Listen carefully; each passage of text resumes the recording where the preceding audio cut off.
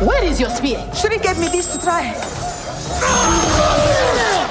You know, I like them better. Our foremothers gave us this spear because it is precise, elegant, and deadly. It will not change under my watch. Yes, General. I told you not to bring them.